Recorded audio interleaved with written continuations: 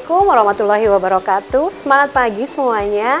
Apa kabar? Tentunya teman-teman semua dalam keadaan sehat-sehat saja. Jumpa lagi dengan saya Tina di video channel Tina Yuk Masak Yuk. Dan hari ini saya mau membuat minuman yang lagi happening Yang lagi kekinian Yaitu Mango Cheese Milk. Ya, kebetulan di daerah saya juga lagi musim mangga, murah-murah dan manis-manis. Jadi di video kali ini saya mau membuat minuman yang berbahan dasar mangga. Oke, apa saja bahan-bahannya? Ini dia.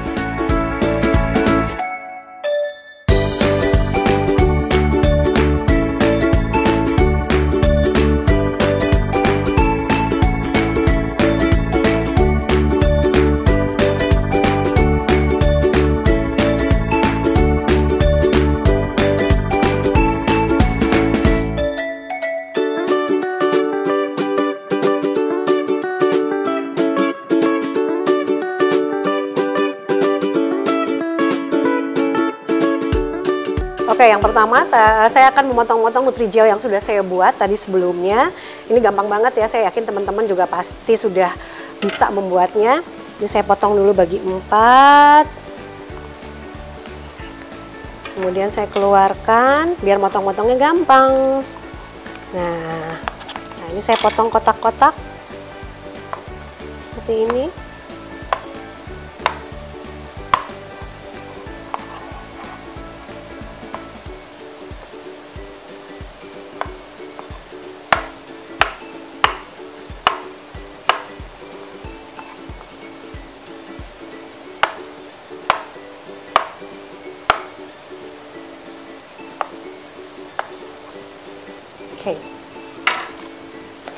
Ya, selesai. Kalau teman-teman nggak punya Nutrijel yang aroma uh, yang varian mangga, bisa pakai yang plain tapi dicampur dengan nutrisari atau sejenisnya uh, yang aroma mangga. Eh, sorry, varian mangga ya. Nah, ini udah saya potong-potong, saya diamin dulu. Kemudian saya akan mengupas mangganya. Pastikan mangganya yang benar-benar mateng ya, yang mateng dan uh, tua. Supaya apa? Supaya manis.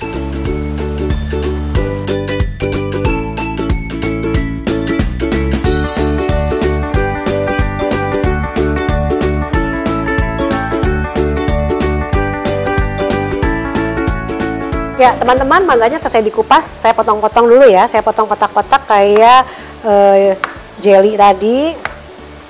Ngupasnya tergantung selera. Mau besar-besar nanti sebagian mangganya akan saya uh, chopper dengan dicampur susu. Jadi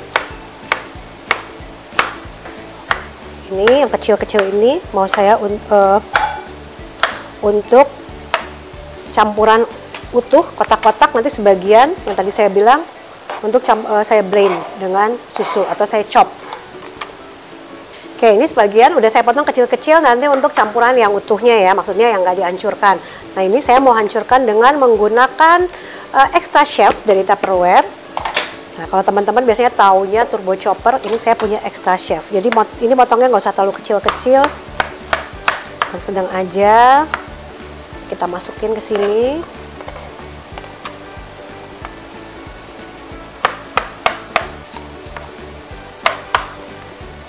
Ya, selesai. Selesai. Nah, ini sekarang saya mau ngeblend ya. Ngeblend atau ngechop. Caranya gampang banget. Sama seperti cara kerja turbo chopper yang kecil. Ini tinggal kita tarik seperti ini. Nah, tanpa listrik, hemat biaya, tenaga juga nggak harus yang kencang-kencang banget. Iya, cukup 10 kali tarikan, kemudian ini bisa dibuka atasnya aja seperti ini hasilnya. Baru kita masukkan susu cair. Susu cairnya kita masukkan ke sini. Kita aduk lagi supaya lebih rata.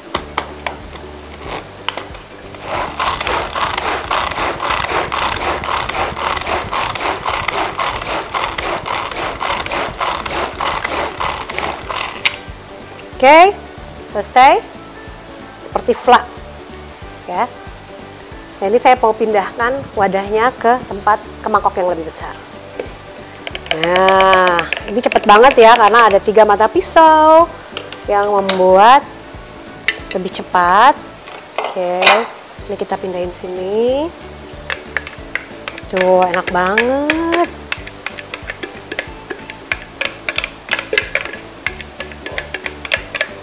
Kemudian kita campurkan dengan uh, susu kental manis. Ini se seikhlasnya, sesuai selera.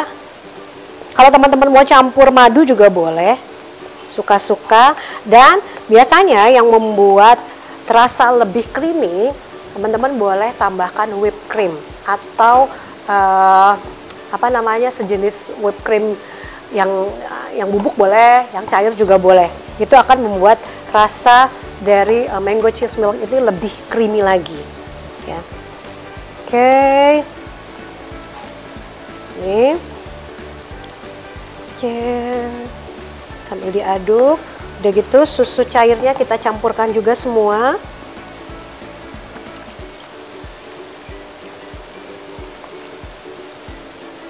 nah jadi kalau teman-teman lihat ini apa namanya mangganya itu nggak sampai lembut, nggak sampai hancur banget, tapi ada butiran-butiran itu yang bikin kalau pas makan nanti kita tuh kerasa gitu mangganya. Kekentalannya teman-teman boleh sesuai selera ya. Kalau misalnya eh, apa namanya saya senang agak encer, boleh ditambahin air putih atau air gula. Tapi kalau saya suka kental gini karena nanti kita akan campurkan juga dengan es batu dan air dari nata de coco. Oke, siap kita sajikan. Bentar ya, saya beresin dulu ini. Oke teman-teman, dan sekarang cara menyusunnya. Kalau menyusunnya sih sebenarnya suka-suka ya, tapi uh, saya mau kasih contoh deh. Yang pertama tentu saja kita masukkan Nutrigelnya sini. Saya pakai sekitar 2 sendok, kemudian saya masukkan nata de coco plus airnya boleh. Ya. Kemudian es batu jangan lupa es batunya masih di kulkas. Sebentar saya ambil ya.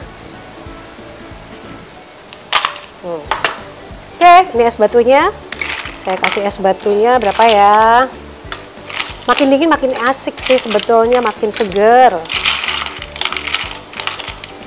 Hmm. kemudian saya masukkan mangga. Wow enak banget ini. Nah kemudian saya kasih uh, selasih. Nah ini juga bikin tampilan jadi makin menarik ya. Kemudian yang terakhir creaminya susunya. Kita tuangkan di sini. Wow. Strap. dan yang terakhir kita kasih keju parut. Nah keju parutnya. Nanti sebelum makan kita aduk. Oke. Wah enak banget